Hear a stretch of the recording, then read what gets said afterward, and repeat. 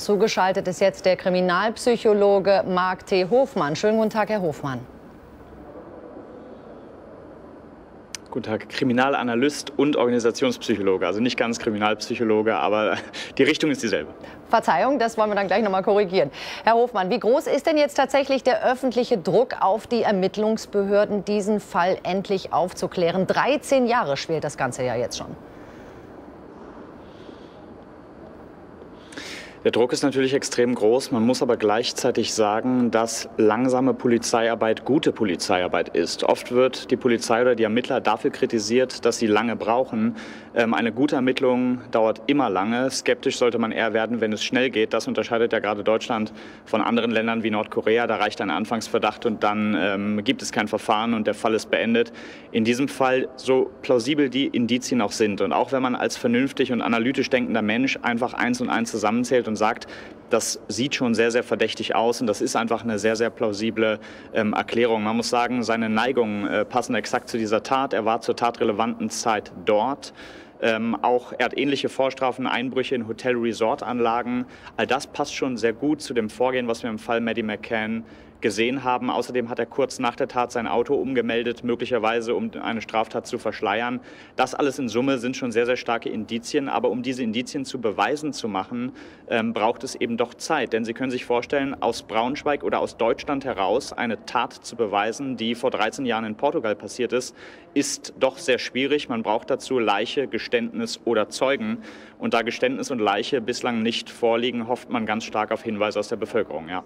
Ja, jedoch je länger das Ganze natürlich dauert, da kriegen die Zeugen auch Erinnerungslücken. Man kann die Spuren nicht mehr richtig auswerten. Je länger es dauert, desto schwieriger wird es doch eigentlich auch, oder nicht?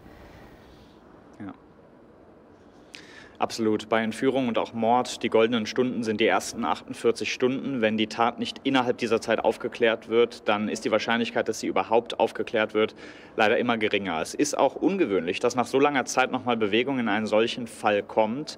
Ähm, in dem Falle war es tatsächlich so, dass wahrscheinlich seine vielen anderen Straftaten, die er das hat ihn in den Fokus der Ermittler gerückt und dann forscht man weiter, findet viele weitere ähnliche Taten und jetzt kommt man vom Fall Maddie McCann auch zum Fall Inger, weil auch da das Vorgehen der Tat einfach ähm, sehr, sehr ähnlich ist. Aber trotzdem, dieser Fall war auf dem besten Wege, ein Cold Case zu werden. Und deswegen ist es doch erfreulich, dass nochmal Bewegung in den Fall kommt. Auch wenn ziemlich sicher ist, dass Maddie McCann tot ist, wird es zumindest den Ermittlern einen Erfolg, der Gesamtgesellschaft etwas Beruhigung und vor allen Dingen den Eltern äh, eine traurige, aber immerhin eine Gewissheit geben, ja.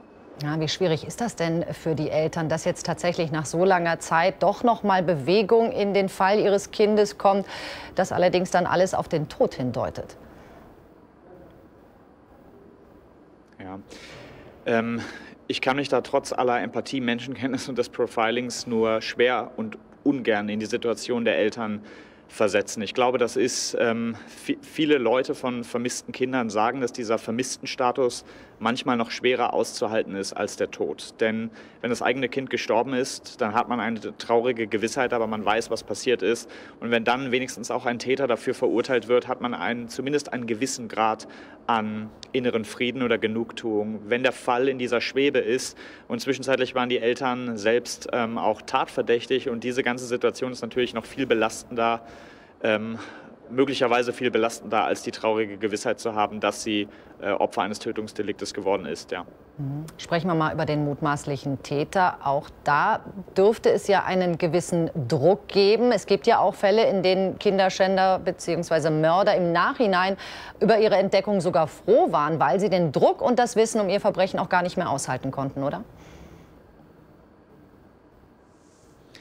Ja, in diesem Fall sehe ich das aber nicht. Es ist doch ein Serientäter, ähm, Besitz und Verbreitung von Kinderpornografie, Kindesmissbrauch, Exhibitionismus, Vergewaltigung einer 72-jährigen, sexuelle Nötigung. Ähm, das Straftatenregister ist doch sehr, sehr lang. Und er hat nie Reue gezeigt. Im Gegenteil, immer wenn es darum ging, Verantwortung zu übernehmen, ist er in ein anderes Land geflüchtet oder hat sich auf seine schwere Kindheit berufen. Er ist Heimkind, abgebrochene Ausbildung etc.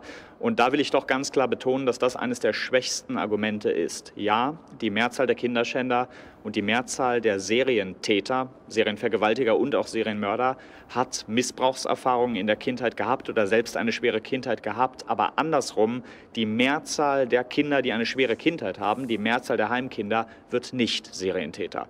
Die Situation als Erklärung heranzuziehen, ist sicherlich ein Baustein. Ja, es, es ist ein Faktor, der mit reinspielt, aber letztlich liegt die Ursache doch auch in der Persönlichkeit. Kurt Lewin, Psychologe, hat mal den schönen Satz gesagt, Verhalten gleich Person mal Situation und das gilt für Kriminalität gleichermaßen. Es ist doch eine schwache Ausrede, ähm, zu sagen, ich hatte eine schwere Kindheit und konnte nichts dafür. Ähm, von anderen tausend Heimkindern wird keiner Serientäter. Ähm, von daher will ich doch davor warnen, dieser Argumentation, die auch Verteidiger dann gerne benutzen, ähm, emotional zu folgen. Mhm. Nun gibt es ähm, Medienberichte, bei denen es heißt, äh, der mutmaßliche Täter habe in einer Bar, gerade als ein Beitrag über Medi lief, mit einem Bekannten dann eben diese Tat zugegeben. Wenn Sie jetzt sagen, in dem Fall gehen Sie jetzt eher nicht davon aus, dass das etwas ist, was er nicht mehr aushalten konnte, dann geht man ja vielleicht eher davon aus, dass er mit geprahlt hat. Äh, möglicherweise. Ein Geständnis ist es dann, wenn er das offiziell macht, wenn er das vor den Strafverfolgungsbehörden oder vor Gericht macht. Möglicherweise, wenn er das einem Freund in der Bar erzählt, ähm, dann ist das manchmal die Gewissheit, dass sie ihn sowieso nicht kriegen. Man muss dazu sagen, Warum ist dieser Fall so schwer, der Fall Maddie McCann und auch der Fall Inga? Ganz einfach. Nicht, weil der Täter besonders intelligent ist, sondern weil es zwischen Täter und Opfer keine vorherige Beziehung gibt. Bei den Me die meisten Morde sind Beziehungstaten. Das heißt, es gibt eine Beziehung zwischen Täter und Opfer und dann sind die Ermittlungen oft sehr schnell und auch sehr einfach. Wenn es diese Verbindung zwischen Täter und Opfer nicht gibt, dann wird die Ermittlung doch sehr schwer. Also fachlich ausgedrückt, ohne eine vordeliktische Täter-Opfer-Beziehung sind die Ermittlungen extrem schwierig. Und das hat nichts unbedingt mit dem Intellekt der Täter zu tun. Aber er, er ist mit dem Fall Maddie McCann lange Zeit davongekommen. Und überlegen Sie, 13 Jahre lang berichten die Medien von morgens bis abends und er ist der geniale Mastermind, der scheinbar mit dieser Tat davonkommt. Obwohl die ganze Welt nach ihm gefahndet hat, wurde er nicht gefasst. Dass daraus eine gewisse Arroganz oder Selbstsicherheit entsteht, die kriegen mich nie halte ich für nicht unrealistisch. Man muss dann aber doch unterscheiden, ob er in einer Bar damit prahlt oder ein offizielles Geständnis ablegt. Das eine ist Stolz, das andere ist das Übernehmen von Verantwortung und das sind doch zwei sehr unterschiedliche Dinge. Sagt Marc T. Hoffmann. Vielen Dank, dass Sie Zeit für dieses Gespräch hatten.